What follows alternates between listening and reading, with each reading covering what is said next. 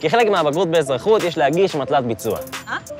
נו, עבודת חקר כזה שעושים בבית ספר.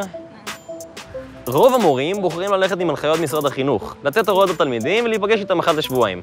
אבל המורה האדיר שלי בחר ללכת על דרך קצת יותר מקורית. הוא קבע יום בו כולנו הגענו להאקתון של 12 שעות, בו בעצם מסיימים את העבודה ביום אחד. זה היה יום חווייתי וחדשני במיוחד בנושא החוויה הדמוקרטית. בתחילת העבודה התבקשנו למלא שאלון ברור עמדות המברר את הדעות שלנו, אם בכלל יש לנו כאלה, בנושאים שונים הנמצאים על סדר היום במדינה. לדוגמה, התמודדות עם יוקר המחיה, או מדיניות הביטחון והגיוס לצבא. אחרי שכולם ענו, הצגנו את נתוני הסקר על המסך. כולם היו פשוט בשוק. אנחנו לא יודעים שום דבר.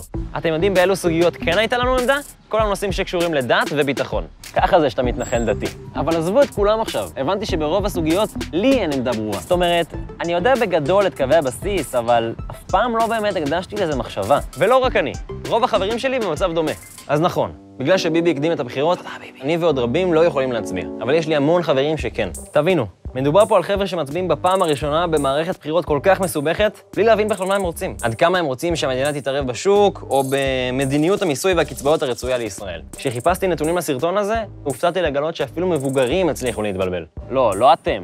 אתם חכמים, אתם יודעים למי אתם מצביעים, אבל אנשים אחרים לא, אנשים אחרים איתי באותה סירה. לפי אותו סקר כיתתי, רוב האנשים מושפעים בתהליך הבחירה שלהם מהשתייכות לאומית. כמעט כל הכיתה העידה שהעובדה שהם יהודים משפיעה על הבחירה שלהם. אז נכון, יש קו כללי, אבל כשיש כל כך הרבה מפלגות וכל כך הרבה זרמים ותנועות שונות, איך אפשר שלא להתבלבל?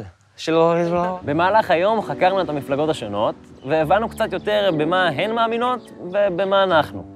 זה היה אחד הימים החשובים ביותר לכיתה שלנו. זה כל כך חשוב שאני ואתם, בני הנוער, נדע ונבין יותר בסוגיות יסוד. ולא רק אנחנו, כל אזרח במדינה. אז מה הבנתי בסוף היום הזה? שאני חייב לחקור קצת יותר. ואני מפציר בכם לחקור גם, כי אני אולי לא יכול להצביע, אבל אתם כן. ועתיד המדינה שלי, שלנו, בידיים שלכם.